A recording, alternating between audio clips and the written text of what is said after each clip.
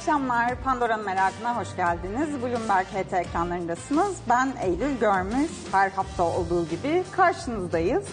Bugün konuğum çok kıymetli, çok uzun yıllardır yazan bir isim. Sevgili Başar Başarır. Ama bir o kadar da eski bir televizyoncu kendisi. Dolayısıyla böyle bir e, sizinle program yapıyor olmak azıcık kendimi huzursuz da hissettiriyor açık söylemek gerekirse. Buraları çok iyi bilen biri olduğunuz için umarım bu sınavı verebilirim diye düşünüyorum ve hoş geldiniz. İyi ki geldiniz. Nasılsınız? Estağfurullah, hoş bulduk efendim. Nasılsınız? Eşek gibiyim maşallah. Bu genel olarak nasılsınız sorusuna vermeyi sevdiğiniz bir cevap sanırım. Çok da güzel bir cevap, çok şey söylüyor. Ee, Valla programı biliyorsunuz. Sizi ne siz yaptı, ne okudunuz, ne izlediniz, ne iz bıraktı da üretiminizi, kendinizi, karakterinizi, hayata bakma biçiminizi biçimlendirdi. Onu keşfediyoruz. Dolayısıyla ben sözü hemen size bırakabilirim. Çantanızda ne var, ne getirdiniz, nasıl başlamak istersiniz ee, deyip devredebilirim. Peki efendim, başlamaya başlayalım o zaman. Buyurunuz. Bakalım başımıza ne gelecek.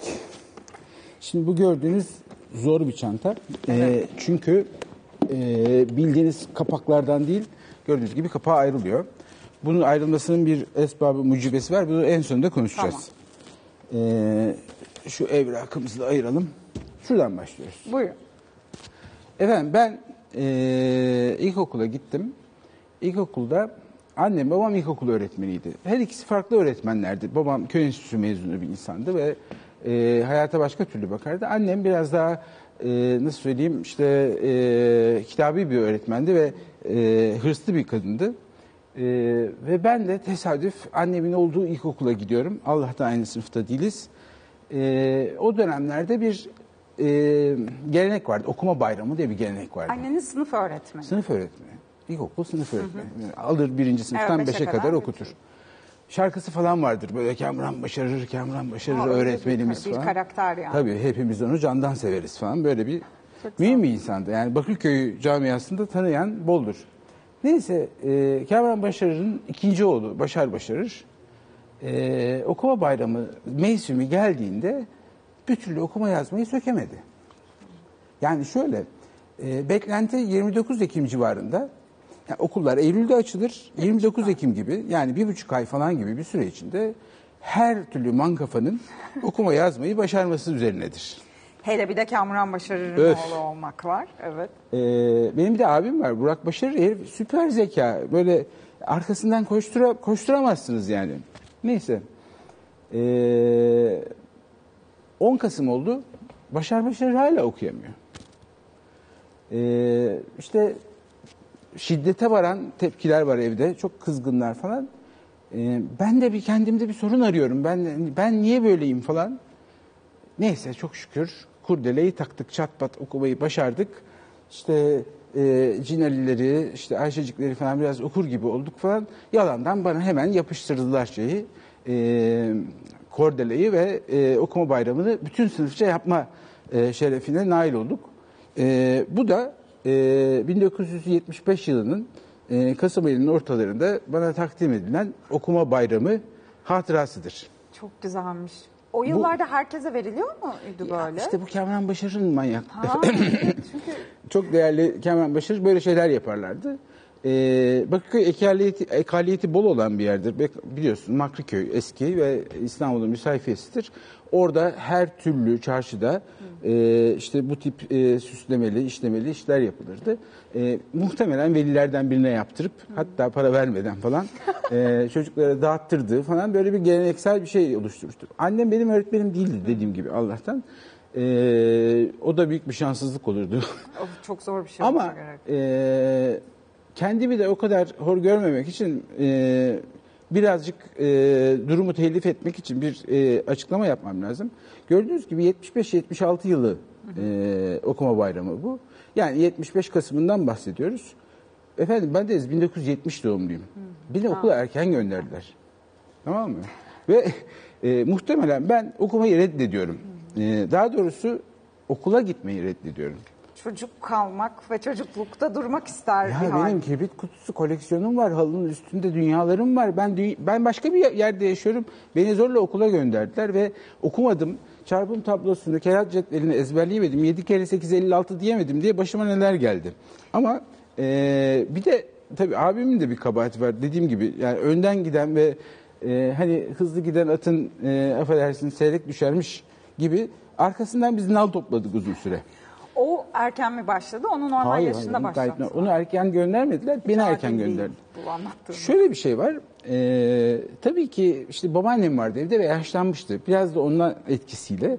Biraz da iyi bir öğretmen yakalayıp işte hani her sene birden geçen falan Ulviye Hanım'ı kaçırmayalım falan deliliyle e, beni zorla okula gönderdiler. Bu olacak bir şey değil ama başımıza geldi. Zaten insan oğlunun adını Başar Başarır koyar mı?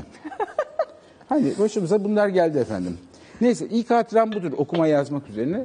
Ben kendimi okumaktan ve yazmaktan kaçarken buldum. Evet, bayağı bir, bir direniş eylemi aslında yaptığınız bilinç altında besbelli ki. Elimden geleni yaptım ama Ya. kurtuluş olmadı. Sonra ne oldu da peki? Söktünüz Evet, ve söktü. Şimdi efendim eee, her eee, içli Türk gencinin başına gelen bir şeyler şahane karşınızdayım. var Evet. Bu bir eee, evden bir seçki yapıp getirdim. Hepsini taşımayayım diye. Eee Kemalettin Tuğcu. Ciğer Eee, sökücü yazarımız. Şimdi Kemalettin Bey e, benim sonradan çok merak ettiğim ve ilgi duyduğum bir insan oldum. E, çok az bilinen bir şahsiyettir. E, 1901 doğumlu e, ve ayakları içe dönük olduğu için hiçbir zaman okula gitmemiş. Çok enteresan. Okuma yazmayı, hatta Fransızcayı, hatta eski yazıyı kendi çabasıyla öğrenmiş ve yıllarca yayın evlerinde, matbaalarda, dergilerde, hatta film şirketlerinde çalışarak hayatını sadece yazarak kazanmış bir adamdır. Çok, yani bunu nasıl başarmış peki o yıllarda hele? Başka bir çaresi olmadığı için efendim. Çok doğru, evet. Başka bir çaresi evden yapabileceği, yani e, kendi başına yapabileceği tek şeyi kendi öğrenmiş. Bu ben bu e, Kemalettin Tuğcu kitaplarını hepsini yutarak okudum. E, tabii e, içimiz burula burula, e, yana yakıla falan. Ama e, bir tuhaflık olduğunu da seziyordum açıkçası. Yani Kemalettin Bey e, toprağı bol olsun, Allah rahmet eylesin çok değerli bir yazar olmakla beraber çocuklar için yazılmaması gerekecek kadar kanırtıcı şeyler yazan. Ve o zaman o zamanın e, ölçülerinde de e, bir takım e, sansasyonel işler yapan. Mesela Pasifik'te bir Türk genci. Bu kitap sonra ileride benim karşıma başka türlü çıktı. O yüzden bunu en üste koydum. Pasifik'te bir Türk genci aslında yanlış verilmiş bir isimdir. Çünkü işte bir Şilebin e, korsan kaptanı 2. Dünya Savaşı yıllarında bir Türk genci ve bir Türk kızını Pasifik'te bir adaya çıkarır ve bu, bunlar birisi 13, birisi 17 yaşındadır. Ee, hikaye ilerledikçe yaşlar birbirine karışır falan ama 15 yıl orada yaşarlar ve evlenirler, çocuk sahibi olurlar falan. Yani Pasifik'te iki Türk genci aslında hikaye. Ama e, kapakta da gördüğünüz gibi Kadınla ilgili herhangi bir şey yok. kendisi yok, cismi yok, fikri yok falan filan. Ben kitabı okuyunca dedim ki ya burada bir yanlışlık olsa gerek. Ama kitapta çok yanlışlık var elbette. Fakat hikaye özünde e, Türklerin ne kadar ileri bir millet olduğu ve işte her ne kadar e, zorluklarla karşılaşsalar da sıfırdan yeni bir medeniyet kurabileceklerini anlatan ve bize de bunu aşılamaya çalışan son derece iyi niyetli e, ve bir heveskar bir metindi ve beni de dediğim gibi çok etkiledi. Ben Kemalettin Bey'i sonradan yani bundan e, 30-40 yıl sonra falan araştırdım. E, bu adamcağız e, neyi nasıl yapmış diye. E, ilginç şeyleri var. Mesela Oraya gelmeden Maşar Bey, diğerlerinde şöyle bir, ben de Peki. gösterebilirim kameraya. Hay hay, Çok göstereyim. kıymetli şeyler, kapaklarını en azından görelim istedim. Şimdi mesela burada üç arkadaş var. Üç arkadaş kitabının kapağında e, çizimi olan e, üç şahıs görüyorsunuz. Bunlar mi? Zombi gibi mesela. efendim o zamanki estetik duygusu Ha, budur yani. Pekala. Tamam. Şimdi biz üç arkadaşı görüyoruz. Ee, Ömer, Kenan, Ercan galiba üçüncüsünde de. Ben yıllarca e, bu kapaktaki hangi çizimin hangi arkadaşa ait olduğunu çözmekle e, yaşadım. Yani hayatımın en büyük sorunlarından biri buydu. Çünkü e, tahmin edersiniz ki yazanla çizen birbirinden ayrı, münasebetsiz bir şey yapmışlar kapağa. Belki de hiç öyle bir şey düşünmüyordu e, Kemalettin Bey ama kapak böyledir. Ee, başka bir e, gönül deşen e, yetim malı. E, bu mesela köye gelen yabancı e, bütün bir köy romanları e, 70'ler dönemini e, belki tek başlıkta açıklayabilen bir isimdir. Çünkü her zaman köye bir, hani bir yabancı gelir ya. Evet. E, işte e, genellikle de bu öğretmendir. İşte öğretmen e, batıyı, terakkiyi, medeniyeti, e, işte imam da gericiliği bilmem neyi falan temsil eder falan. Bu çatışma üzerinden bir roman kurulur. E, ve kimsesiz adam. E, bu kimsesiz adamlar da hep iyi adamlardır bu arada. Yani uzaktan ve korkulan ve kimseyle konuşmayan, yalnız olan. O Kemalettin Bey'in kendisidir aslında kimsesiz adam. Hep yani uzak durulan, sessiz, korkulan falan kişi aslında son derece iyi kalpli e, ve anlaşılmayı isteyen, kimseye derdini anlatamayan şahıstır. Bir çocuk anlar onu genelde bir ilişki Evet. kurar ve Evet ve büyükler asla anlamadığı halde o çocuk kalbi onu çözer. O yıllar- Haydi'nin büyük babayı çözmesi gibi.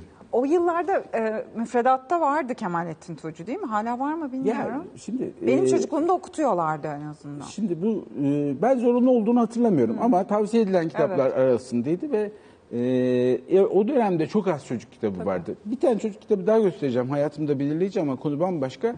Genellikle e, öğretmenler yazardı.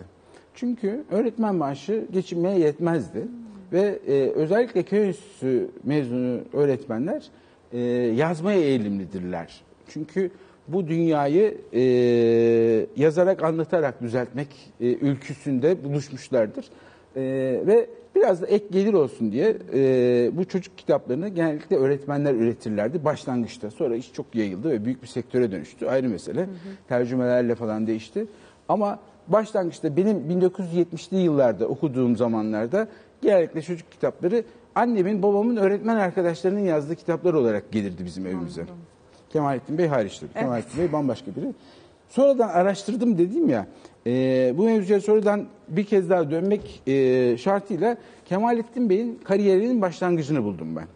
Bu e, Kemalettin Bey kitap yazmaya 1930'lu yıllarda dediğim gibi kendisi de 30 yaşından geçkinken başlıyor. E, bu da şöyle oluyor. İlk önce bir mürettip olarak bir matbaaya giriyor. Sonra e, matbaanın girdisini çıktısını falan öğrendikten sonra teknik kısımdan içeriye atlamaya karar veriyor ve kitap yazmak istiyor. Ve yazacağı kitapları da kendi patronuna bastıramayınca Cağaloğlu'ndan tanıdığı başka yayın evlerine vermeye başlıyor. O dönemde e, bu kitap 1930 ya da 31 tarihlidir. E, ve e, o dönemde şöyle bir Arif Bolat yayın evi, bu arada Arif Bolat boş bir adam değil, Nazım Hikmet basan bir adam. Yani bu yayın evi çok önemli bir yer. Ee, o dönemde fakat 1930'ları şöyle anlatayım size. 28 harf inkılabından sonra yayın evlerinin, kitap evlerinin çoğu batma noktasına geliyor. Çünkü bir gecede deponun tamamı satılamaz Kullanılmaz hale hale geliyor. geliyor. Sıfırdan baştan başlayacaksınız. Yeni harflerle aynı kitapları basmak isteseniz bile yeni harfe geçmeniz lazım. Daha önemlisi onu okuyacak insanlar bulmanız lazım. O da bir zaman alacak. Dolayısıyla 30'lu yıllar yayıncılık açısından büyük bir bocalamadır. Ve işte devlet katkısı bekleniyor, yardım isteniyor, işte Ankara söz veriyor, vermiyor, gelmiyor, gitmiyor falan. Ee, en sonunda iş başa düşüyor ve yayın evleri kolayca okunabilecek, herkes tarafından tüketilebilecek ve çok ucuza satılabilecek kitaplar basma kararını veriyorlar ve ardı ardına değişik yayın evlerinden buna benzer şeyler çıkıyor. Ee, Dişi Kuş e, Kemalettin Bey'in icadı bu ilk yazdığı kitaptır. Ee, koc- kocanızı nasıl muhafaza edebilirsiniz? Başlık bu. Ee, hatta sonradan patron olacak Şevket Redo aleyhinde çok ağır bir eleştiri yazısı yazmış bu kitabın. Ee, koca bir öküz müdür ki muhafaza edilsin başlığıyla. Ee, Bu tür içeriklerin hala internette çarşaf çarşaf modern versiyonlarının dolaşıyor olması ve Google'da çok aranan şeylerden olması da ayrıca acayip. Ya bunlar- Onu kendinize nasıl aşık edebilirsiniz? Kocanızı, sevgilinizi, karınızı nasıl muhafaza edebilirsiniz? bunlar ilk kişisel gelişim kitapları. Evet. Telif üstelik yani bu çeviri de değil. Sizin için ne diyorlar? Kendinizi nasıl sevdirirsiniz? İşte eee daha fecisini göstereyim. Aşkın tekamülü yani gelişmesi. Eee, bunlar hepsi tabii Kemalettin Bey'e ait değil ama konu açıldığı için O getirdim. janrın şeyi olarak. Ee, her evli kadın neler bilmelidir?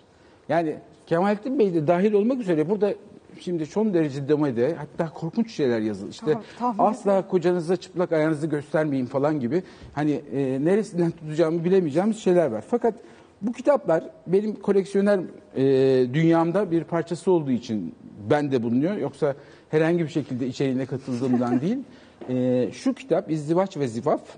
E, gene çok delice yani bunu e, Danish Remzi Korok'un kitabıdır bu.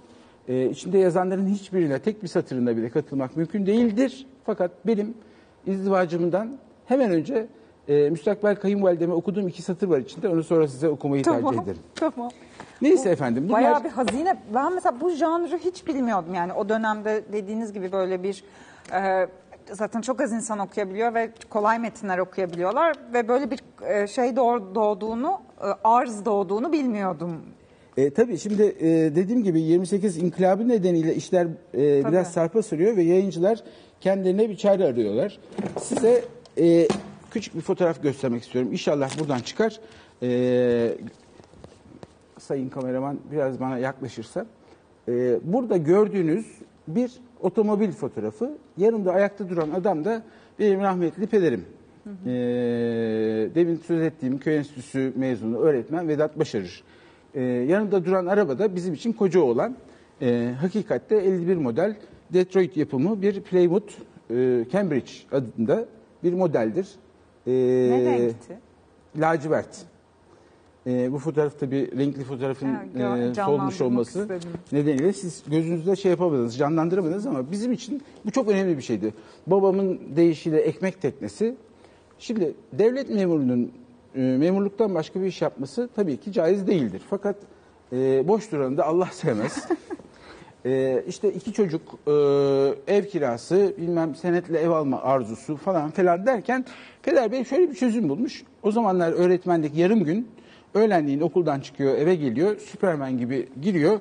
İşte e, kravatı, ceketi çıkarıp omuzlarına at, şey, e, hırkasını alıp e, 51 model Playboy'una sene 67 bu arada 16 yaşındaki bu arabayla dolmuşçuluğa başlıyor.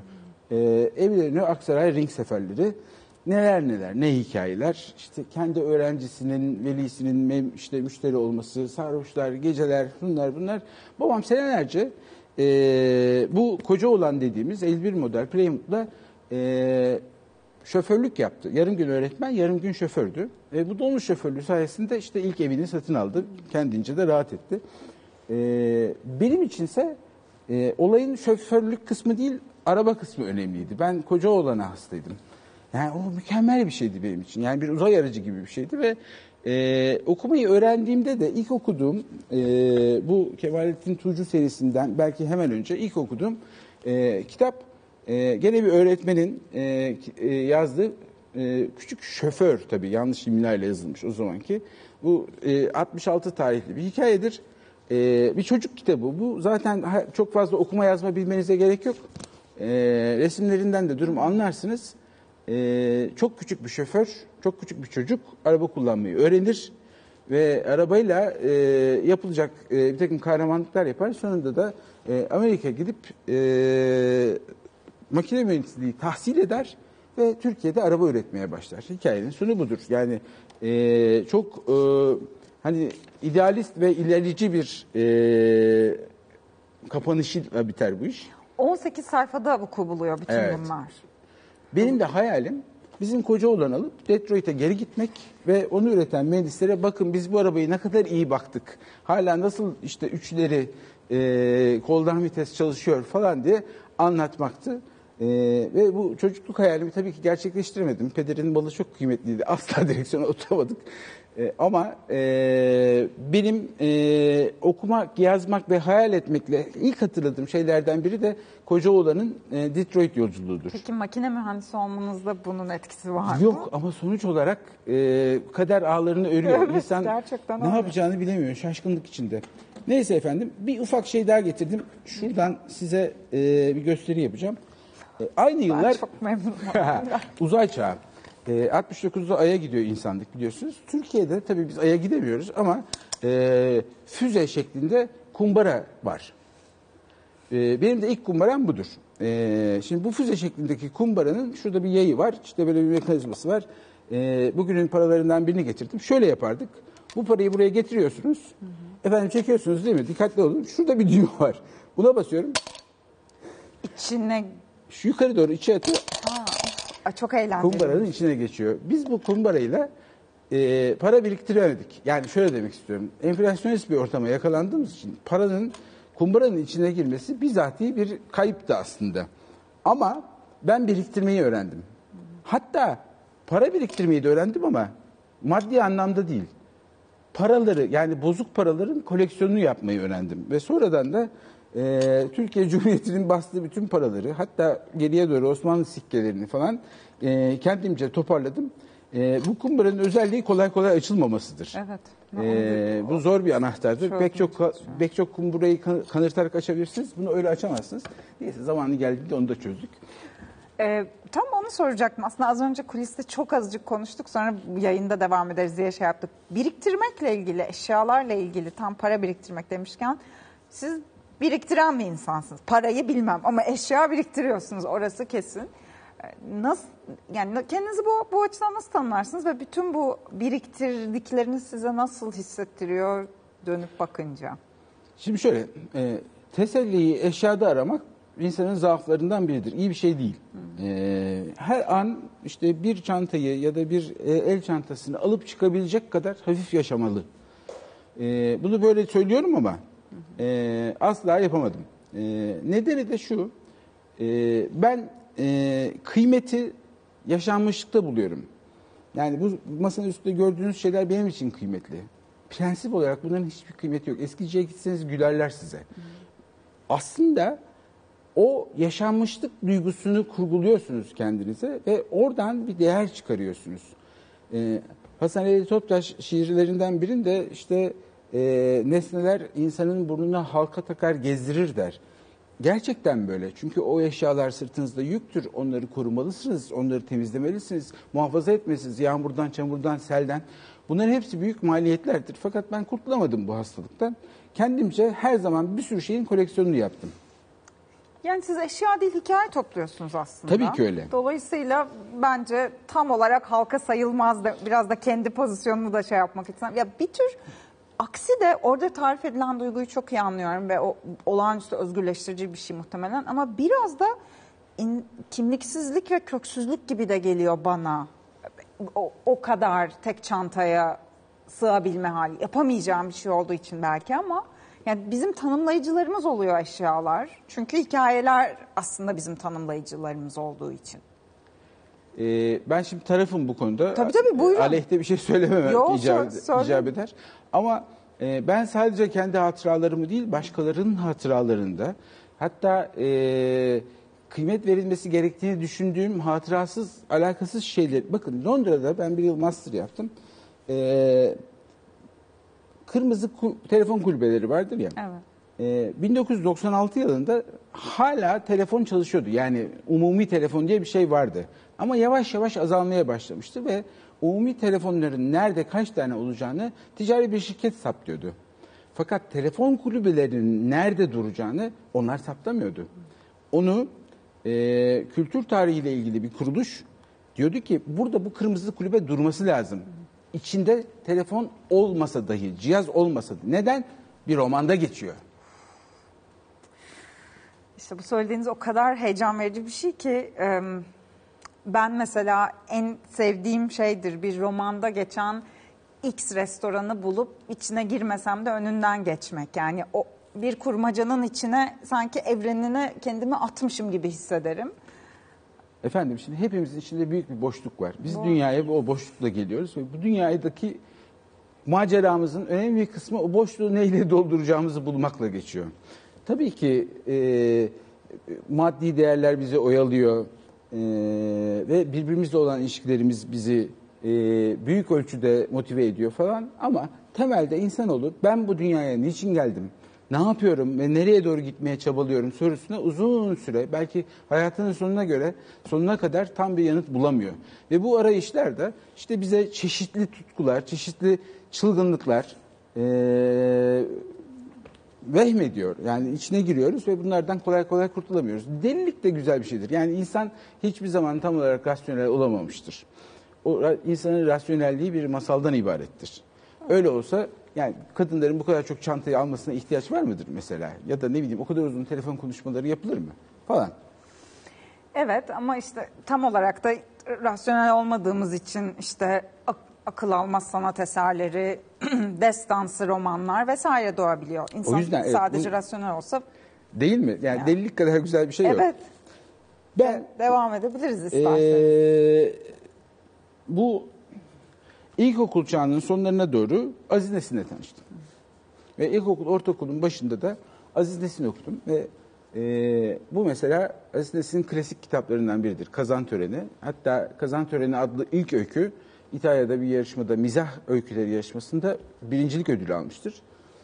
Aziz Nesin o yıllarda hala yeni kitaplar yazmaya devam ediyordu zaten. Ee, şöyle söyleyeyim, ee, 80 yaşında öldü, 1915 doğumlu, 95'te öldü Ee, ve ee, bu kitap 55 baskısı falan, yani 40 yaşında yazdığı bir kitap ve ee, bu yayın evi Aziz Bey çok yayın evi, Düşün yayın evi galiba Kemal Tahir'le ortak kurdukları ve ilk bastıkları kitaptır.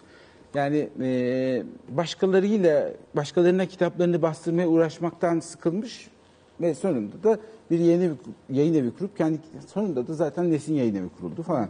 Şimdi Aziz Nesin e, bir dava adamı bir tarafından e, ama e, hiçbir şeyi öyle çıplaklığıyla bize e, işte adam olun diye söylemez. Hikayeyi başka türlü anlatır. Bu, bu, bu kitapta benim unutamadığım Dolmuş'un Kapısı diye bir öykü vardır. Ee, o yıllarda tabii İstanbul e, ulaşım konusunda yeni bir liberalleşme yaşıyor. Yani dolmuş denilen icat Türkiye'de canlanmış. Ee, dolmuşun tarihi de biraz tartışmalıdır ama e, bir Türk icadı olduğu da söylenebilir. Yani e, yeterince müşteri bulamayan taksiciler bunun çok pahalı olduğunu düşünerek ortaklaşa müşteri toplamaya başladıktan sonra bunu belediyeye başvurarak legalize ediyorlar ve hatlar ve fiyatlam e, tarifle, tarifeler oluşturuyorlar. E, İstanbul gibi bir yerde de işte oradan oraya gitmek için e, otobüs veya tramvay beklemek yerine dolmuşa binmek çok e, makul bir çözüm oluyor. Minibüs de onun sonradan e, üretilmiş yürüyen köy versiyonu yani uzaktaki taşla yani dolmuşlar merkezden merkeze giderler. Anladım. Yani işte Eminönü'nden atıyorum Taksim'e gider veya işte Kurtuluş'a gider falan. Ee, o işleyen dolmuşlar da genellikle Amerikan arabalarıdır. Yani demin konuştuk ya pederin de var 51 Evet. model Plymouth falan. Bu dolmuşların şöyle bir özelliği var. Her biri farklı bir marka olduğu için her birinin kapısı ayrı açılır. Kimisi sağa çevrilir, kimisi sola çevrilir, kimisi çekilerek açılır, kimisi itilerek açılır. Aziz Nesin bununla ilgili bir hikaye yazmış. Yani e, her okuduğumda gözlerimden yaşlar gelir. E, ama bir kere bile e, ya biz bunları niye kendimiz yapmıyoruz? Bu araba e, niye hepsi ithal demeden e, işin absürtlüğünü oraya öyle bir getirir ki düşünürsün yani hani bu biz biz niye bu kapıları açmayı öğrenmeye çalışıyoruz ki? Niye bizim kendimize ait bir kapımız yok? Ve kapının açılmasının tek bir yöntemi olması gerekmez mi? İçeriden de başka açılıyor, dışarıdan da başka açılıyor falan. Ve e, İstanbul'da dolmuş kapısı açamamayı medeniyetsizlik olarak addedilen bir dönemin çok hoş e, öykülerinden biridir. Ben Aziz, Aziz Nesin'in pek çok kitabını okudum. E, oradaki mizah e, içime sindi. Daha doğrusu sindi demeyeyim, beni ele geçirdi. Ve her zaman içimde bir e, Aziz Nesin temposu yaşadım. E, tabii ki ben bir mizahçı değilim ama onun yazdıkları hayatımda önemli bir etkisi olan bir şeydir. Siz e, bir röportajınızda şeyi iyi söylemiştiniz. Yani böyle çok mesaj kaygısı olan kitapları sevmem, mesaj veren bir yazar değilim. Öyle kitaplar okumayı da sevmem diye. Bu tarif ettiğiniz şeyi çok iyi. Yani mesajı vermeye gerek kalmayacak ölçüde mizahı kullanarak durumun absürtlüğünü ortaya bırakınca zaten mesaj kendiliğinden doğmuş ve beyne yerleşmiş oluyor. Ama bunu yapabilmek tabii başka bir maharet yani. Çok kolay bir iş değil. Tabii Aziz Nesin gibi yani uluslararası çapta büyük bir yazar ve dünyanın en çok çevrilen oku, Türkçe yazarlarından biridir. Hala e, çok okunur E, ve anlattıkları da dediğim gibi evrensel temalardır. E, bu insanların, yazarların bir derdi olması, e, samimi bir derdi olması mühim bir şeydir. Yani aslında yazmaya motive etmek için seni başlangıçta hep bir derde ihtiyacın var. Bu derdi olumsuz anlamda kullanmıyorum. Ee, Mesele. Bir meselen olması lazım. Ama e, bu mesele seni e, olduğundan daha yukarı yere çıkarmaz bir mesele sahibi olmak. Sen kimsin ki yazar olarak? Hani ona buna şuna insanlık öğretmek, o doğrudur bu yanlıştır diye ahkam kesmek. Sen meseleyi ortaya koyarsın. Çok doğru ama yani edebiyatımız çok zor yerlerden geçti bu anlamda düşünce. Toplumcu gerçekçi olmayan kitapların işte küçük görüldüğü meselesizliğin yani kişisel olanı anlatmanın e, edebiyatın bir parçası olamayacağı gibi dönemeçlerden bayağı böyle eleştiriler. Bir dönem sadece propaganda bülteni gibiydi yani kitaplar. Evet ama ondan sonra da sadece kişisel meselelerini yazan e, bir yazar kuşağıyla karşılaştık. Başka bir uca geçti. Bu, Doğru. evet, bu tartışmalı bir şeydir. Bu, şöyle söyleyeyim. Ya, e, sanat sanat için mi, sanat toplum için mi tartışması sonsuza dek sürebilir. Hatta e, Çetin Altan bir tarihte buna e, sanat anlayan içindir diye bir yanıt vermiş. E, sanat herkes için olamaz. Sadece onunla ilgili bir ilişkiyi kurabilen için olur. E, uzun vadede ben kendimi sanatta, sanat edep vadisinde yürüyen birisi olarak addederken e, bu soruya kendimce şöyle bir yanıt buldum. Benim yanıtım şudur. Sanat sanatçı içindir efendim. Doğru. Çok İlk önce oradayız. Ben bu işi niçin yapıyorum? İlk önce kendimle ilgili bir sorunu çözmekle uğraşıyorum. Elbette ki bunu başkalarıyla paylaşıyorum ama çıkış noktası efendim kusura bakmayın bu benim için. Bu söylediğiniz çok kıymetli bir şey ve e, aslında yani bence çok da mütevazi bir şey söylüyorsunuz. Evet. Umarım öyledir. Buyurun devam edebiliriz. Evet. e, sonra lise, ortaokul, lise e, ben her e, hassas Türk genci gibi e, Şiir. şiire geldim. Aşık olmak, dünyanın en büyük meseleleriyle uğraşmak. Ee, Atilla İnan'ın Yağmur Kaçağı kitabı. Bu ilk baskısıdır. Ee, bu e, Seçilmiş Hikayeler Yayın Evi e, diye bir e, Ankara kökenli e, Seçilmiş Hikayeler dergisinin e, yayın evi. E, ve oradan çıkan 8-9 tane bu boyda çok özel baskılı kitap vardır. Biraz kapağını göstereyim. E, yakından bakılırsa e, nasıl söyleyeyim ağlayan bir kadın ama e, Yağmur Kaçağı e, Atilla'nın e, zirvelerinden biridir. Hem de çok genç yaşta yani 30'lu yaşta belki de 30 olmadan önce yazdığı şiirlerinden oluşur. Elimi tut yoksa düşeceğim bu şiir miydi? Karıştırıyor muyum? Üçüncü şahsın şiiri efendim. Aa, orada mı geçiyordu? Evet. Okey. Müsaadenizle okumak istiyorum. Lütfen buyurun. Gözlerin gözlerime deyince felaketim olurdu ağlardım. Beni sevmiyordun bilirdim. Bir sevdiğin vardı duyardım. Çöp gibi bir olan ipince. Hayırsızın biriydi fikrimce. Ne vakit karşımda görsem öldüreceğimden korkardım. Felaketim olurdu. Ağlardım. Ne vakit Başka'dan geçsem limanda hep gemiler olurdu. Ağaçlar kuş gibi gülerdi. Bir rüzgar aklımı alırdı. Sessizce bir cigara yakardın. Parmaklarımın ucunu yakardın. Kirpiklerini eğerdin, bakardın. Üşürdüm, içim ürperirdi. Felaketim olurdu, ağlardım. Akşamlar bir roman gibi biterdi. Jezebel kan içinde yatardı. Limandan bir gemi giderdi. Sen kalkıp ona giderdin. Benzin mum gibi giderdin. Sabaha kadar kalırdın. Hayırsızın biriydi fikrimce. Güldü mü cenazeye benzerdi. Hele sedik konularını aldı mı felaketin olurdu, ağlardı. Şimdi eee, bu şiirin bir özelliği var. Eee, Türk alfabesindeki 29 harfin 29'u da bu şiirde vardır. Eee, en zor harf Türk alfabesindeki nedir? Yumuşak G olsa gerek. J. J. Ha Jezebel o yüzden mi orada? Akşamlar bir roman gibi biterdi. Jezebel kan içinde yatardı. Jezebel kan içinde yatardı. Çok faydalı bir bilgi. Hiçbir zaman anlamadığım bir şeydi çünkü. Bu arada Atilla İnan e, bir e, Marsilya yolculuğu, gemi, o zamanlar gemiyle yapılıyor yolculuk. Böyle Marsilya yolculuğunda aynı gemide bulunan ve İstanbul'da uzaktan gördüğü bir hanım bir kıza aşık olur ama asla açılamaz ve bu şiiri onun için yazar. Kaptan şiirinde de Tabii. okuduğumuz uzun yolculuk. Evet, evet. O- Ama birden fazla kez yapmış, yapılmıştır. Ee, reji beni uyarıyor. Kısa bir reklam aramız var. Su- e, Sonra devam edelim bence buraya. Ee, Birkaç dakika sonra karşınızda olacağız efendim.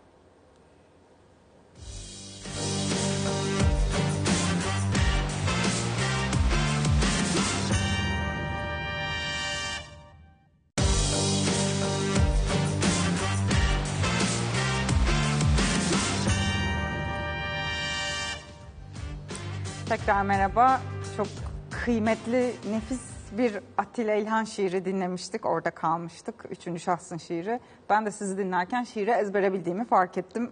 Eşlik ettim yani birkaç yeri haricinde bayağı biliyormuşum. Benim de aşkın ne olduğuna dair ilk sezgimin tetiklenmesine sebep olan şiirdi. Okuduğumda aşkı bilmiyordum ama böyle bir şey olsa gerek duygusunu veren şiirdi. İyi ki okudunuz. Ee, ayrıca da Umarım bavulunuzu e, gasp etmeden ben siz buradan ayrılabilirsiniz. Çünkü içindekiler beni gerçekten çok iştahımı e, açmakta. Buyurun devam edebiliriz. Peki hızlanmaya çalışacağım. Ee, dediğim gibi her hassas Türk genci gibi şiir yazıyorum. Şiirle ilgileniyorum. İşte e, sana gitme demeyeceğim ama gitme Lavinia. Adını gizleyeceğim. Sen bile bil- bilmeyeceksin Lavinia.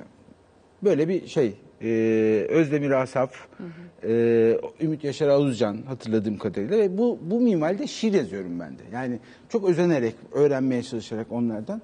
Ama sonra e, çok başka bir dünyaya kapı açılıyor. Ben Ruhi Bey nasılım? Bambaşka bir şey. Bu da mı Yani- ilk baskı? bu da ilk baskı. Bu 76 olması lazım. 1976 Edip Cansever eee 1986'da çok erken vefat etmiş eee, bir eee, şairimiz.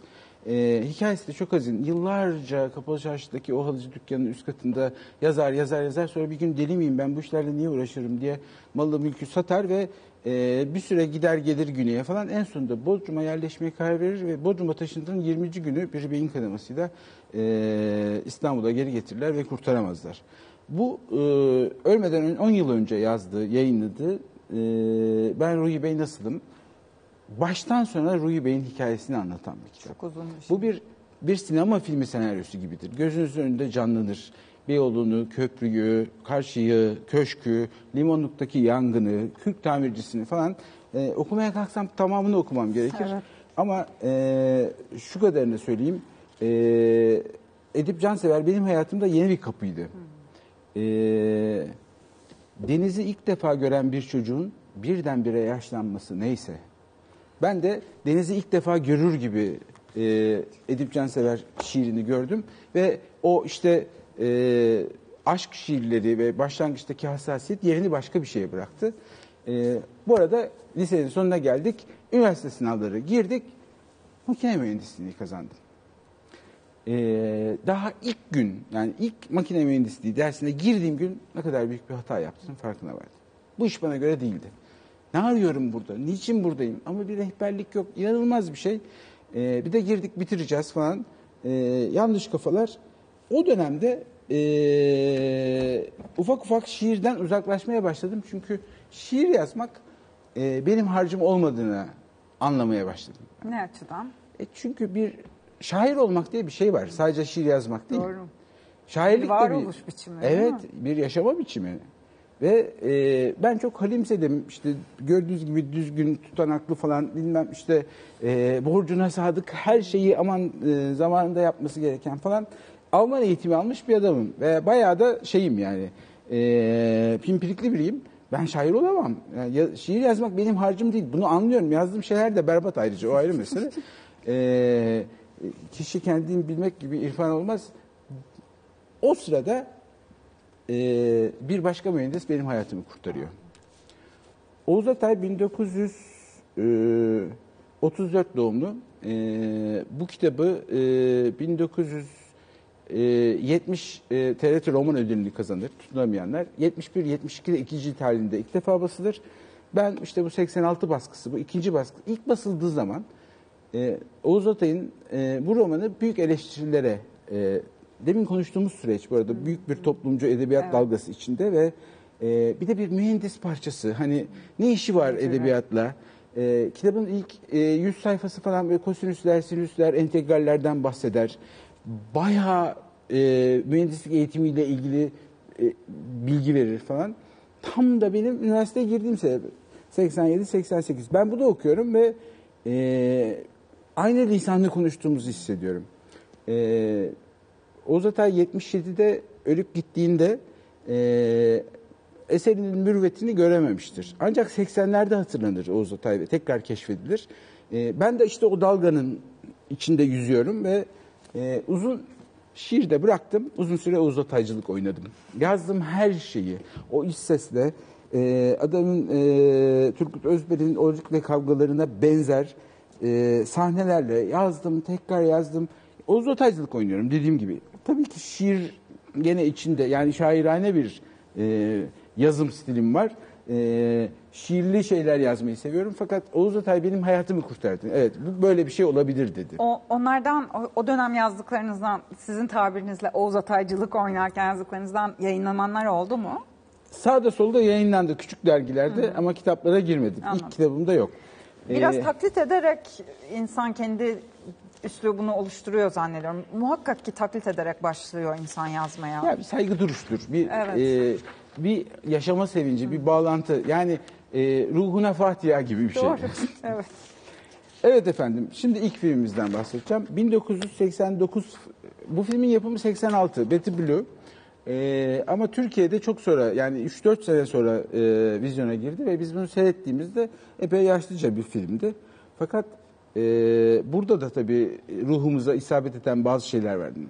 E, Betty Blue işte borderline e, kişilik bozukluğu olan bir e, çok güzel bir e, kızımızın e, işte ev boyayarak işte musluk tamir ederek para kazanan bir zor kadındaki bir gençle olan aşkını anlatır. E, Zorg'un bir özelliği var. Zorg yazıyor ve hiç durmadan yazıyor. Böyle kendi yazdığı defterler, defterlerden oluşan bir kolisi var. Betty Blue da e, kafayı buna takıyor ve Zorg'u yayınlatmak için e, ilk önce o defterleri daktiloya çeker. Sonra zarflara koyar ve e, işte Gallimard başta olmak üzere Paris'in bütün önde giden yayın evlerine tek tek gönderir. E, e, onlardan hepsinden sırayla red yanıt alır. Ve bu e, ilişkileri için büyük bir yük haline gelir ve Betty neyse sonunda e, tatsız bir şekilde e, kendine zarar vermeye başlar. Ama e, Zorg'un yazması ve sevgilisinin o kitapları yayınlatmaya çalışması fikri yani e, benim durumumda olan e, işte mühendislik okuyor ama ben burada ne yapıyorum diyor. E, yazdıklarından emin değil. Zaten yazmaktan hiçbir zaman emin olamazsınız. Yani diğer sanatlardan biraz farklı da budur. Yani 100 yaşına gelseniz de acaba iyi bir şey yazıp yazmadığınızdan %100 emin olmanız mümkün değildir. Birilerinin size iyi yaptığınızı söylemesinde büyük fayda vardır. Her yazarın bir müttefike ihtiyacı vardır. Bu da benim karımın lafı. Ve müttefikiniz de Deniz Hanım Evet. eşiniz değil mi? Ee, sonunda yayın evlerinden bir tanesi Zorg'un yazdıklarıyla ilgili e, bu metinlerde kişilik bozukluğunun bütün ibareleri var falan gibi böyle çok hakaretli bir yanıt gönderir. O e, yanıttan dolayı Betty adamın evine gider ve e, fırçayla ayakkabı fırçasıyla adamı yaralar. Ee, sonra da karakola düşerler falan. O sahne gözümün önünden gitmiyor. Yani o ye- birisinin yazdıklarını yayınlatmaya çalışan sevgili fikri e, beni bu filme çok bağlamıştır. Tabii film başka bir sürü romantik ve e, ilişkiyle ilgili zor hikayeleri anlatır ama benim kalbimde hep o işte yayınlanma, yazdıklarını yayınlatma fikri vardır. Çok küçük bir şey söyleyeceğim. Ee, siz devam edin istiyorum. Ben bu filmi ilk defa 19 yaşımdayken izledim. Ee, uzun versiyonunu. Ee, yıllar sonra işte siz söylediniz Türkiye'de bir kısa versiyonu düş, yay- sinemada izlendi. Evet, alakam çünkü. Evet. Sonra bir uzun bir de yönetmen Director's Cut versiyonu var. 3,5 saat. Ee, büyülenmiştim. Yani ben de oradaki aşkı 19 yaşında aşkı merak eden bir çocuk olarak e, oradaki onların o tanışmalarındaki büyüyü tenimde hissettiğimi hatırlıyorum ve Beatrice Dahl'ın e, güzelliği de aynı biçimde böyle aklıma şey gibi kazınmış. Çok memnun oldum bir bavuldan bu film çıktığı için. Çünkü bence daha çok bilinmesi gereken bir film kendisi? Öyle bir liste yapalım. Daha çok bilmesi gereken Evet. filmler listesi. Biraz unutuluyor. Zaman aşımına uğruyor. Uğramaması gerekenlerden biri oysa ki bence. Evet meşhur makineniz sizi Evet, üniversite. Efendim göstereyim. Fotoğraf makinesi. Beni üniversitede e, üniversitenin e, o atmosferi aynı zamanda fotoğrafla tanıştırdı. Ben e, Boğaziçi'nde okuyorsunuz. Boğaziçi'de girdim. Boğaziçi'nin BİFOK diye müthiş bir fotoğraf kulübü var. BİFOK'taki arkadaşlarımız aynı zamanda öğretmenlerimiz, ustalarımız, hocalarımız falan. Ben e, fotoğraf çekmeye başladım. Ee, işte e, o zamanlar Rus pazarı var e, Rosmaniye'de. Rus pazarından bir zenit aldım. İşte e, Sirkeci'den işte e, İlfor'da paramız yetmiyor. İşte daha ucuz Doğu Alman e, filmlerinden alıyoruz falan. E, siyah beyaz sonra siyah beyaz film banyo etmeyi öğrendik. Kendi kendimize banyo ediyoruz. Üniversitenin bir e, fotoğraf kulübünde bir agrandizör var. Fotoğrafları basıyoruz, banyo ediyoruz, asıyoruz ve karşısına geçip of be ne sanat yaptık diyoruz. Ee, tabii e, o ilk yaratma hisleri bunlar. Yani ışıkla, e, figürle ve fikirle e, yaptığımız ilk denemeler beni heyecanlandırıyor ve saatlerce karanlık odadan çıkmıyorum. Günlerce baskı yapıyorum. Bütün paramı e, zaten sınırlı olan e, paramı sonradan rehberlik yapmaya başladım. Allah'tan biraz para kazandık. E, bu işe harcadım ve fotoğrafçılık konusunda birazcık bir şeyler yapar hale geldim. Ee, ağırlıklı olarak insan portre mi çekiyordunuz yoksa var mıydı o dönemde belirli bir eğiliminiz? Ya başlangıç bir arayıştır. Yani her şeyi çekersiniz. Ben e, çok e, close-up'lardan, e, sürreal şeylerden, e, kompozisyonlardan işte kum kapı balıkçılarına kadar biraz Ara Güler özentisi falan her şeyi yaptım. E, denedim.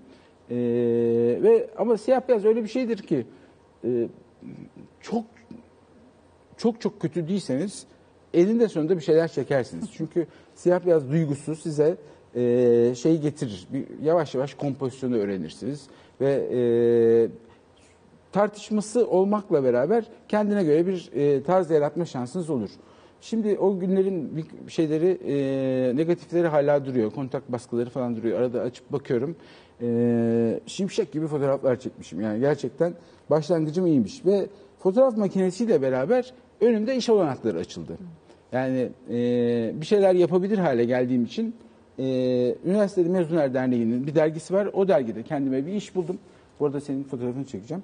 E, Şu an burada mı? Elbette her Pekala, zaman. Çok hazırlıklı olmadığım, bütün iktidarımın elinden al- elimden alındığı bir an şu anda siz yönetiyorsunuz. Evet. Hatıramız oldu. Çok teşekkür ederim. Daha Ee, önce de bir fotoğrafımı çekmiştiniz. Çok makbule geçti. Boğaziçi Üniversitesi'nin Mezunlar Derneği var. Mezunlar Derneği'nin de Boğaziçi adında bir dergisi var. Bu derginin kapağında gördüğünüz hocamız Demir Demirgil. Ee, bu fotoğrafı ben çektim. Adına bir salon da vardır Evet. Boğaziçi'nde. Ben bu fotoğrafı Nisan ayında çektim. Dergi Mayıs ayında basıldı, basıldı ve 1 Nisan'da vefat etti. Benim çektiğim gün vefat etti bu e, hocamız. E, bizim ben mühendislik öğrencisi olduğum için hiçbir zaman dersini almadım. İdari bilimlere, e, iktisada giderdi. Ama arkadaşlarımız anlatırdı. Derse I found my love in Portofino şarkısını söyleyerek başlayan, reytingi çok yüksek bir insandı. E, bu derginin, bu sayısının benim için başka bir özelliği daha var. Ben bu sayı için eee, bir röportaj yaptım. Orhan Pamuk'la mı? Evet. Sene 1990, ben 20 yaşındayım. Orhan 38 yaşında. Aramızda 18 yaş fark var ama ben 118 falan var gibi hissediyorum. Çünkü kara kitap çıkmış. Yani hani şimdi eee, Beyaz Kale'nin, Kale'nin hastasıyım, Sessiz Eve de boş değilim. O kadar seviyorum Orhan'ı. Kara kitaptan da çok etkilendim. Eee, bir şekilde randevu aldık, evine gittik. O zamanlar Pamuk Apartmanı'nda, Nişantaşı'nda oturuyor. Eee çok gerginim fotoğrafları ben çekmedim. Ali Taşkıran var Büfok'tan. Ali dedim sen gel. Ben çok gerginim her şeyi yapamayacağım. Fotoğrafları sen çek. Ee, Orhan bize kahve mavi yaptı falan böyle bayağı adam yerine koydu. Ben 20 yaşındayım düşünsene bir de bana niçin yazdığını nasıl yazdığını falan anlatıyor. Ee, ve bu röportajın sonunda ee, ben bunu unutmuşum tabii. Yıllar sonra ararken bir yerde karşıma çıktı. Ee, Türkçenin ee, Nobel'e en yakın Türk yazarı ilan ediyorum. Kaç dediniz sene? Dok- 1990. 90. Ee, 16 sene sonra Nobel alacak. 2006'da. Yani şunu demek istiyorum. Ben 1996'da artık ne biliyorsam salladım tuttu mu diyelim nasıl oldu bilmiyorum ama e, Orhan Pamuk'a Nobel vermişim yazının sonunda.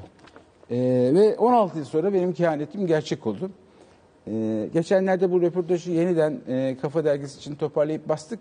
Onun sonunda bir kehanette bulundum. E, görüp göreceğimiz de budur diye. Ha, o kötü kehanetmiş ya hay Allah. Evet. Heyecanlanmıştım bir isim daha çıktı mı e, kürede göründü mü biri daha diye ama peki. Ee, o dönemde e, yanına gidip geldiğim röportajlarını yaptım. Adamlardan bir tanesi de Sadun Boro diye Türkiye'nin en büyük denizcilerinden biridir. Sadun'un kızı e, Deniz Boro üniversitede arkadaşımdı. Onun sayesinde hem Sadun'u hem Oda'yı yani eşini tanıdım. E, ve bu adam 1965'te e, Caddebostan'da yapılmış 10,5 metrelik bir kısmet adı verdiği teknesiyle İstanbul'dan ayrılıp 2 yıl 10 ay sonra e, Akdeniz'i geçip Cebeli Tarık'tan çıkıp Atlantik'e atlayıp Panama kanalını geçip Pasifik'i geçip Hint Okyanusu'nu geçip Kızıldeniz'den geçip Akdeniz'e geri dönüp Türkiye'ye geri dönmüş bir denizcidir. Dünya turunu yelkenli bir tekneyle tek başına daha doğrusu iki kişi ama e, bir dışarıdan destek almadan tamamlamış ilk Türk denizcisidir. Ve müthiş bir adamdı. E, onun yaptığı şey ben denizden korkarım. Denizden her manada korkarım yanlış anlamayın. Anladım. Ee, ama e, onun yaptığı şey denizin kıyısında durup da ilham aldığım anlarda da içimi hep titretmiştir. Ve e, o yüzden e, böyle bir valize Sadun Boro'nun Pupa Yelken kitabını, bu 69 baskısı, e, ilk baskı. E, tabii hadi göstereyim. Biraz Ya. hava atmak olacak ama. bir daha göremeyeceğimiz bir şey çünkü. Sadun Baba bunu bana imzalamıştı. Ha, ne kadar 2015'te kaybettik. Marmaris'te bir e, köy mezarlığında yatıyor. Ben işte şeye başladım, dergiciliğe başladım. Yazıyorum, çiziyorum. Ha. Elimde iki şey var, hiç bırakmadım. Bir tanesi el teybim. O zamanlar bu modaydı ve e, şöyle küçük bir kaseti vardı bunun.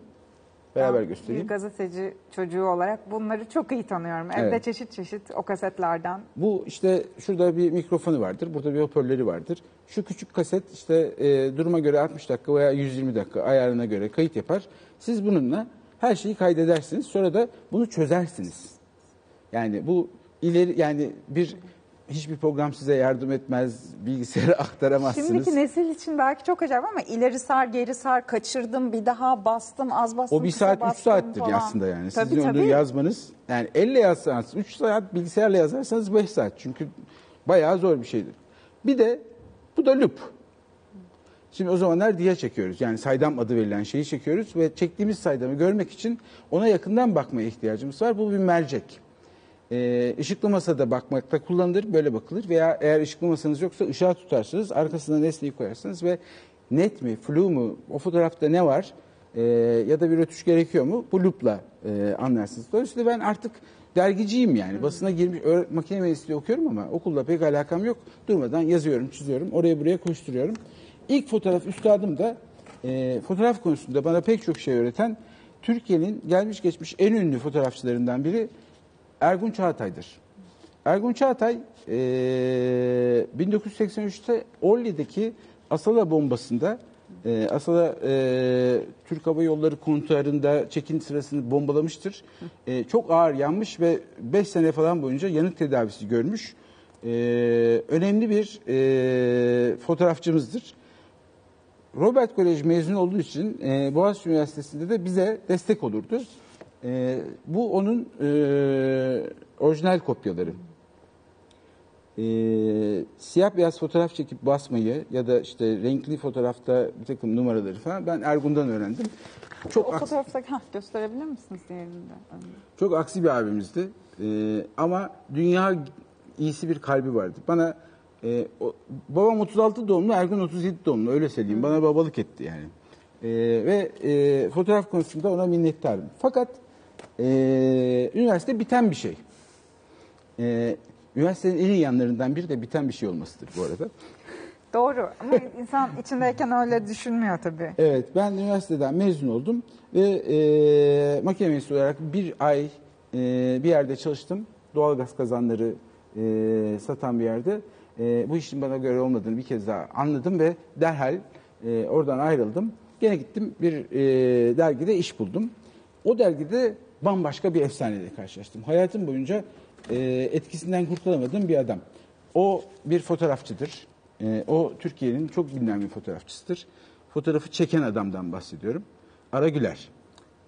Zeki Müren'in bu Evet. fotoğrafını Ara Güler mi çekmiş? Evet bu fotoğrafı- 1955 tarihli bir e, Cumhuriyet Gazetesi yanılmıyorsam ya da Maxim bilmiyorum ama e, şeyin e, Zeki Müren'in Elvis Presley dönemlerinden kalma bir Ara Güler baskısı gösteriyorum size. E, Ara abiyle biz e, bir sürü iş yaptık. E, bana hediye ettiği birkaç tane fotoğrafı getirdim buraya. Şimdi Ara Güler fotoğrafı sahibi olmak bunlar Ara Güler'dir evladım. Bunlar 100 dolar, 200 dolar. Öyle kolay bulamazsın. Ara Güler böyle bir adamdı ve e, gerçekten e, Tospa Sokağı'ndaki o şeyde e, bürosunda birlikte fotoğraf seçerdik. Sonra bu fotoğrafların, seçilen fotoğrafların kaç tanesinin basıldığını hesap eder. Ertesi ayın 10'una doğru falan bana telefon ederdi. "Ya Evladım bu ayın te- telifi 234 lira 75 kuruş olabilir mi? Olur öyle abi. Niye öyle? E, fa- telefon faturası öyle gelmiştir. Onu da ekleyerek. Evet.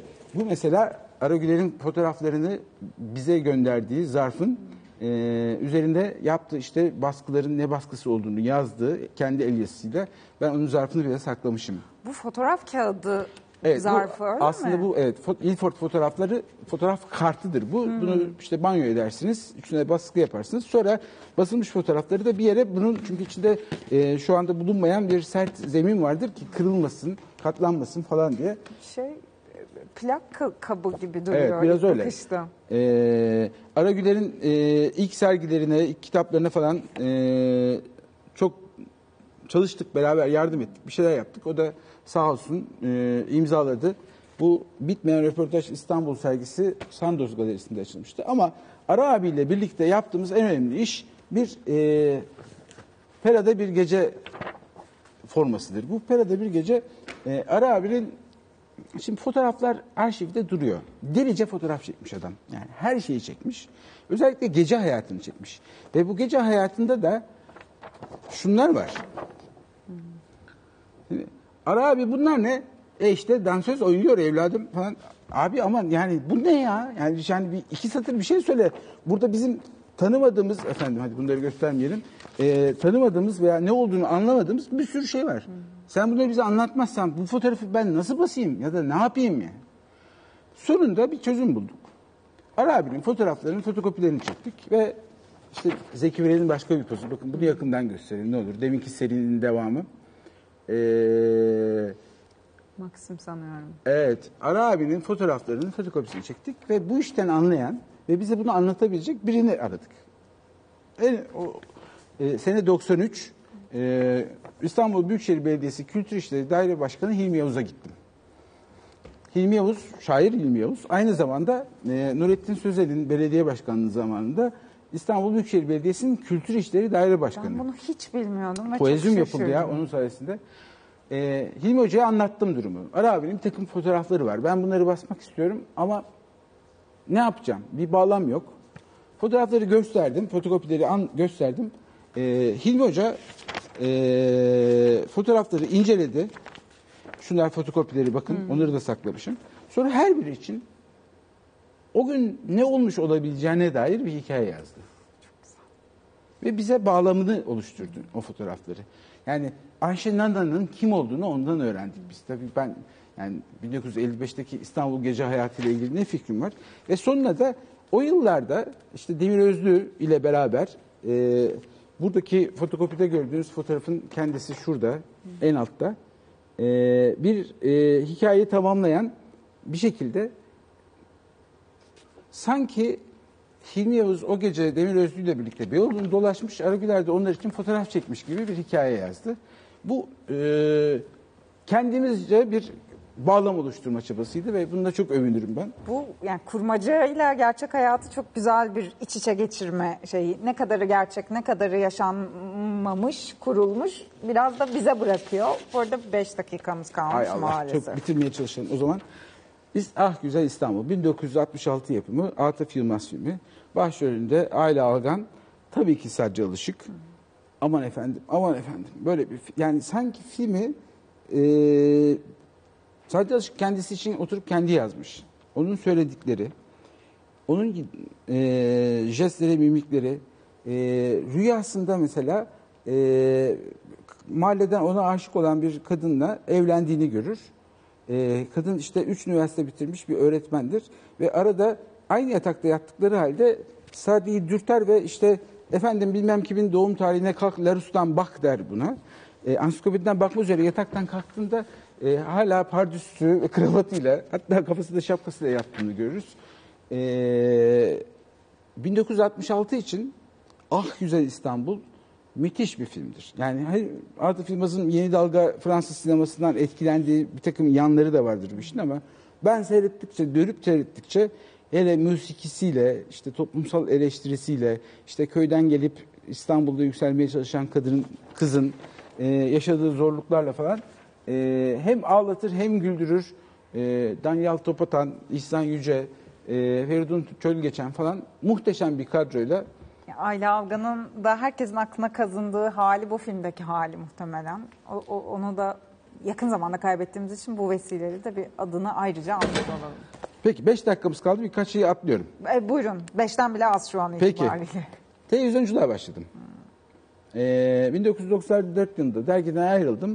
Bir şekilde e, Mehmet Ali Birant'la tanıştım. Mehmet Ali Birant'la ilk mülakatımızı anlatıyorum. Ee, o 10. yılında yani 32. günün 10. yılı kitabı bu. Bu kitabı yazacak birini arıyormuş. Ben bundan haberdar değilim.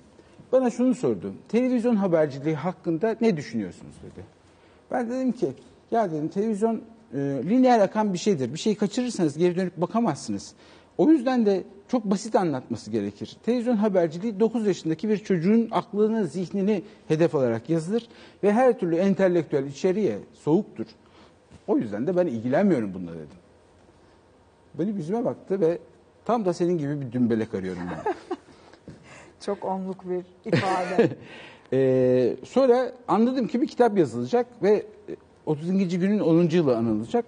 Ee, bir andım bir sürü notları var. Orada o küçük tepten onda da var. Durmadan okuyor falan. Ama vakti yok ve o kitabı çatmak istiyor. Çatısını çatacak bir kalem arıyor aslında. Ve o kalem meğer benmişim. Ee, bir an bu kitabı rahmetli bana e, bu kitabın gerçek yazarına diye imzalamıştır. Tabii ki burada bir e, latife var. E, kitabın içinde yazanları benim bilmem söz konusu değildi. Ama ona yardım ettim, öyle söyleyeyim. E, ve e, bir süre beraber çalıştık. E, 32. günde yapımcı oldum ben sonra. Televizyonculuğa böyle başladım. Sene 94. o çok da heveslisi olmadığınız televizyon haberciliğinin içinde buluverdiniz Kendimi kurtaramadım. Yani. Evet. Bulaşınca. Peki, e, Sanırım son bir şey daha duyacak bir kadar şey daha- vaktimiz peki. var maalesef. Şimdi bu acayip bir şey. Bir de E, bavulu soracağım size. Ha bir de bitirmeden. bavulumuz var doğru.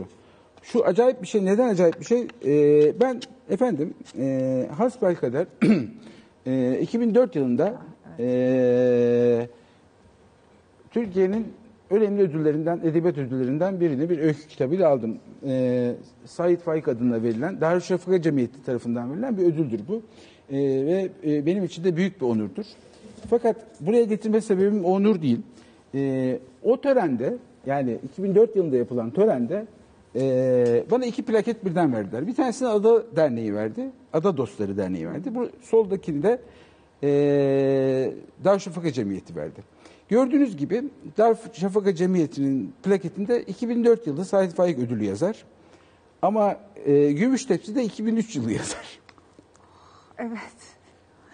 İki sene üst üste almışsınız. Ben bu eve geldikten sonra fark ettim tabii.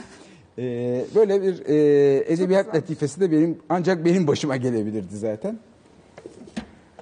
Son olarak çantayı. Efendim, evet çantayı anlatmadan önce bir fotoğraf göstermem lazım size. Hani demiştik ya, e, her yazarın bir müttefike ihtiyacı vardır diye. Böyle. E, ben size müttefikimi göstereyim. E, değerli eşim Deniz Hanım, e, bana göre soldaki fotoğrafta e, masanın başında bir e, 2000 yılındayız ve bir bilgisayardan bir şey okumakta. O gördüğünüz bilgisayar benim, okudukları da benim zırvalarım. E, öykülerimi okuyor ve e, bana müttefiklik ediyor. Ama müttefik şu demek değil. Ah sen çok iyisin, çok iyi yazıyorsun. Her gördüğü şeyi çok beğeniyor falan öyle bir şey değil. Müttefik yanlışını söyleyen, daha çok seni daha iyisine zorlayan bir müttefiktir. Ee, Deniz Hanım'da evlendik 2000 yılında ve e, o da yazıyor, ben de yazıyorum. Hayatımızı yazma, okuma üzerine kurduk. E, bu valizde aslında bir valiz değil. Bu e, göründüğü gibi kapağı çıktığı için aslında Daktilo.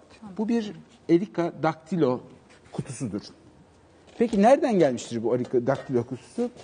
Ee, rahmetli kayınpederim ki ben kendisini hiç görmedim. 1976 yılında e, Erika Daktilosunu almış ve o da paraları düşürdüm. Kusura bakmayın. O da benim için benim gibi kendine göre bir arşivci, çılgın bir arşivci olduğu için faturası da dahil olmak üzere Erika Daktilo'nun bütün detaylarını bir arada tutmuş. Daktilo da duruyor ve çalışıyor. Ben içinden çıkardım sadece. Ve e, gelirken Kamran Yücel'in daktilo kutusuyla gelmek istedim buraya. Burada bitirelim. Bu arada yani o sırada kamera beni çekmiyordu neyse ki ama birazcık gözlerim doldu. Deniz Hanım'ı tanıyor ve çok seviyorum. Ee, tanıdığım kadarıyla benim de çok özel bir insan bence. Ee, insanın e, ses, sesiyle zaten herkese değdi. Ben tanışınca bana ayrıca da dokundu. Ee, sizin de ondan bahsederek, böyle bahsederek bitirmeniz ne kadar hoş oldu. Daha fazla duygulanmadan e, bu faslı kapatayım ama şunu söyleyeyim. Siz çok iyi bir müttefik gibi gözüküyorsunuz uzaktan. Birbirinizi benzer tutkularınız var. Okumakla, yazmakla kurduğunuz ilişki hakikaten biraz gıpta edilesi. Dışarıdan öyle gözüküyor, onu söyleyeyim. Teşekkür ederim. Başar Bey çok teşekkürler. Ee, Umarım sizi tatmin edecek kadar anlatabildiniz diye ummak istiyorum. Biraz bir şeyler kaldı ama işte programın süresi itibariyle benim için çok büyük bir resim oluştu ama anlattıklarınızdan. Ee, okuma bayramından başlayan. Çok teşekkür ederim. Ağzınıza sağlık, ayağınıza sağlık. İyi ki Ben geldiniz. teşekkür ederim. Çirkin hayalimi bu televizyon ekranına çıkardığınız için sağ olun. Ha- harika bir sohbetti. Ee, keşke daha fazla dinleyebilseydim. Tek söyleyeceğim. Bir dahaki sefere. İnşallah. Ee, Her zaman olduğu gibi sizleri haftanın etkinliklerine baktığımız videomuza uğurlayalım. Ardından ben geri döneceğim ve yeni çıkan kitaplardan bahsedeceğim efendim.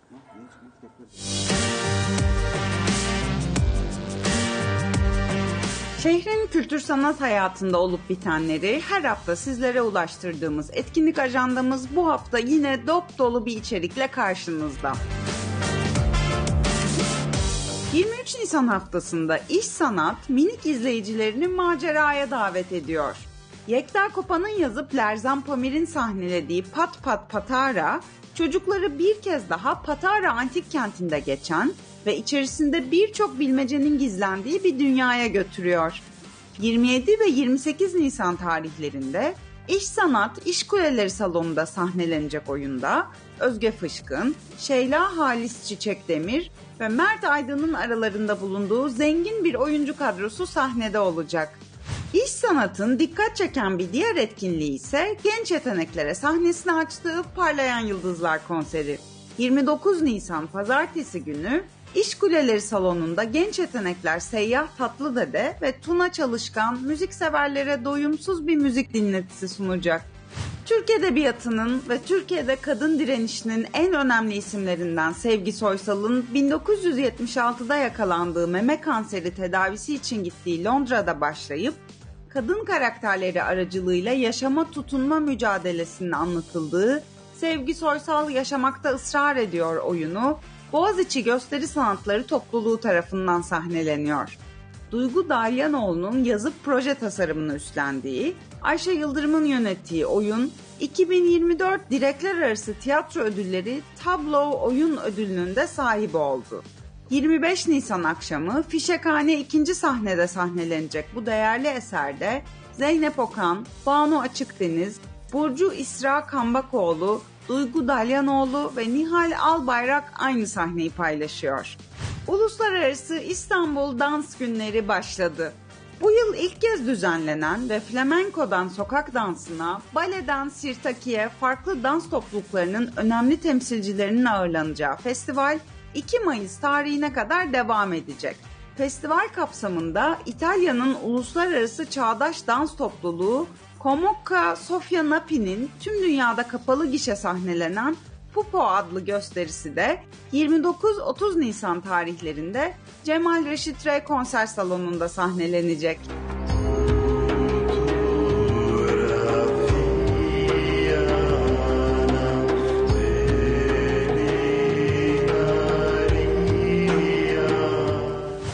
David Leitch'in yönetmen koltuğunda oturduğu ve başrollerinde Ryan Gosling, Emily Blunt, Winston Duke ve Aaron Tyler Johnson'ın yer aldığı dublör haftanın dikkat çeken yapımları arasında. I'm the director. We're gonna set this man on fire. You're a stunt guy. We need to keep it super profesh. Profession's my middle name. You said your middle name was Danger. 1980'lerin popüler TV dizisinden esinlenen film, Hollywood dublörü Colt Severs'ın maceralarını konu alıyor. Filmde Gosling'in dublörlüğünü yapan Logan Holiday, Guinness Dünya Rekorlar kitabına girdi.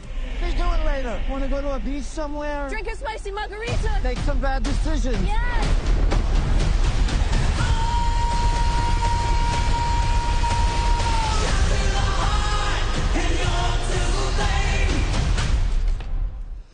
Tekrar merhaba. Bir de kitaplara bakalım hızlıca. İlk önce elimde Fem Güçlü Türk'ün Bitkilerle İyi Geçinme Rehberi var. Mundi'den çıktı. Eğer biraz bitkilere merakınız varsa mutlaka Fem Güçlü Türk'le yolunuz kesişmiştir. Kendisi büyük bir bitki aşığı. Bu kitapta da e, bitkilere nasıl bakabileceğinize dair gayet teknik ve faydalı ama bir yandan da çok güzel yazılmış bilgiler e, bulunuyor. E, kitapta bitkilerinizle konuşun, çakranızı temizleyin, doğayla bütünleşin gibi muğlak kişisel gelişim ifadeleri yerine faydalı bilgiler koydum diye yazmış arkasına. Bence çok güzel bir rehber kitap. E, haftanın ilk kitabı bu. Bu kişisel gelişim meselesine girmişken hemen bağlantılı bir diğer kitap. Whitney Goodman'ın Toksik Olumlama kitabı Lale Günsel'i Bayır çevresiyle Nova kitaptan yayınlandı. Bence çağımızın hastalıklarından biri sürekli iyi hissetmek zorunda olduğumuzu düşünmemiz. E, bu kitapta da e, olumlu olmak tüm sorunların çözümüyse, iyi düşünerek her şeyi, her şeyi çözebiliyorsak neden çoğumuz endişeli, depresif ve tükenmiş haldeyiz diye bir soruyu soruyor. E, psikolog, ps, e, psik, psikiyat, psikolog, terapist Whitney Goodman. E, bu da bence herkesin bir göz atması gerektiğini düşündüğüm bir kitap. Devam ediyorum. İş Bankası Kültür Yayınları Selçuk Altun'un eserlerini yayınlıyor. Ee, eskiden Sel yayınlarında yayınlanırdı ve çok uzun süredir de baskıları yoktu pek çoğunun. Senelerce senelerce evveldi de yine yayınlananlar arasında. Ee, Selçuk Altun'u zaten bilirsiniz. Ee, edebiyatımızın kıymetli yazarlarından biri. Bu kitapta da Edgar Allan Poe tutkunu bir karakter kurgulamak isteyen bir yazarın romanın hikayenin içinde kaybolmasını okuyoruz aslında. İstanbul'dan Buenos Aires'e uzanan bir aşk hikayesini dinlerken göz görmeden gönül sever mi gibi bir sorunun peşinde hikayeyi dinlerken kendini bulan bir karakterin öyküsü. Bu da haftanın yenilerinden. İş Bankası Kültür Yayınları'ndan bir diğer kitap da elimde Mary e, Wiesner Hanks'in Kısa Dünya Tarihi kitabı Serpil Çağlayan çevirisiyle yayınlandı. Mary Wiesner Hanks e, bir, bir tarih profesörü, 7, 7 ciltlik Cambridge World History'nin de editörlerinden biri. Bu kitapta da dünya tarihine bakıyor ama bildiğimiz biçimiyle yani siyasi tarih üzerinden ve e, sınırlarla belirlenmiş ülkelerin tarihlerine değil de daha büyük bir çerçeveden toplumsal meseleler üzerinden, toplumsal cinsiyet, aile, maddi kültür gibi başlıklar üzerinden bir tarih anlatısı kuruyor. Ee, Paleolitik çağdan günümüze dek uzanan aslında insanın yolculuğunu anlatan bir kitap. Bu da bir yine bir rehber kitap niteliğinde. Son olarak da aslında üç kitap ama hepsini beraber söyleyeceğim. Kurt Vonnegut Amerikalı yazar. E, kitapları yine yeni kapaklarıyla basılmakta epeydir. Üç tane. Biri Allah Senden Razı Olsun Bay Rosewater, Sinan Fişek çevirisiyle. Bir diğer roman Mavi Sakal, Handan Balkara çevirisiyle. Bir de öykü derlemesi Maymun Evi'ne hoş geldiniz. Yine Handan Balkara çevirisiyle can yayınlarından çıktı. Süremiz artık bitmek üzere olduğu için kitapları uzun uzun anlatmıyorum ama Kurt Vonnegut severlerin bilgisine diyelim e, bütün külliyatı tamamlama yolunda ilerliyor. E, Kara mizahın büyük ustasının kitaplarını can, tamamını artık can yayınlarından ulaşabilir durumda olacağız. Evet bu kadar efendim. Biraz nefes nefese bir anlatım oldu. Kusura bakmayın. İzlediğiniz için çok teşekkürler. Haftaya yine çarşamba akşamı 23.15'te Bloomberg HT ekranlarında görüşmek üzere. Herkese iyi geceler.